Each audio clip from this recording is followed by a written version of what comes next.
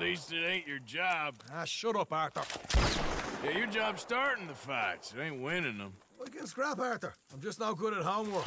I can see. Besides, what do you care, Englishman? You've got no time for me. I tried to find you work, but then you're off cutting jobs with other folks, and your boy Sean doesn't get a look in. Guess I don't want to get shot, that's all. Ah, you're a real fucking funny shit, Arthur Morgan, huh?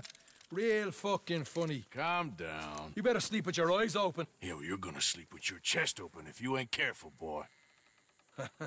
I love you, Arthur Morgan. I love you.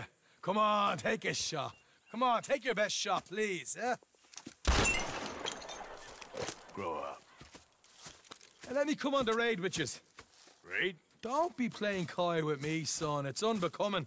That bloody train you and him has set up. What you're doing out here, you're going to need guns, you're going to need men. Oh, that. So Marston told you? It ain't a big show. I need calmness. If I take you, I might as well bring Micah Now along. compare me to that oily turd again. You're a dead man. Fair enough. Anyway, Arthur, what's your problem with me? In fact, don't tell me. I already know. You're threatened by me. Threatened by you. Yeah, my youthful vigor. It intimidates you. Does it? It's a story as old as the hills. The changing of the guard, the fading of the light. You're toast, old man. Okay.